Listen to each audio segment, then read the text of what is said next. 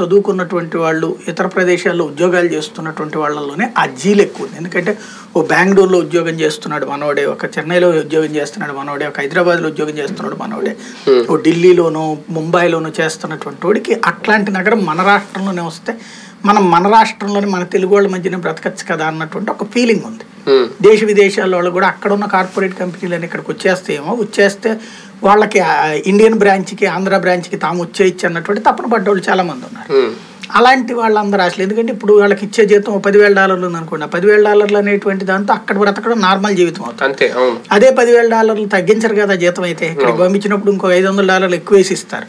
ఇస్తే కనుక ఇక్కడికి వచ్చి పదివేల ఐదు వందల డాలర్లు అంటే దగ్గర దగ్గరగా ఎనిమిదిన్నర లక్షల రూపాయలు తొమ్మిది లక్షల రూపాయలు డబ్బులు క్యాష్ వచ్చేస్తుంది దర్జాగా మనం బతికేయచ్చు అని ఆశపడ్డారు వాళ్ళందరూ. తీరా చూస్తే ఇక్కడ ఏమీ లేదన్నటువంటి విషయం తెలిసిన తర్వాత కానీ షాక్ అవ్వలేదు.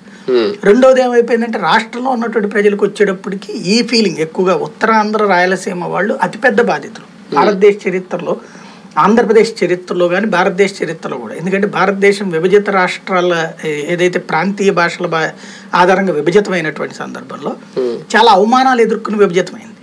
ఒక్క ఆంధ్రప్రదేశ్. మిగతా ఎన్ని భాషా ప్రయుక్త రాష్ట్రాలు వేరు. తెలుగు మాత్రం చాలా అవమానకరమైనటువంటి రీతిలో విభజితమైంది.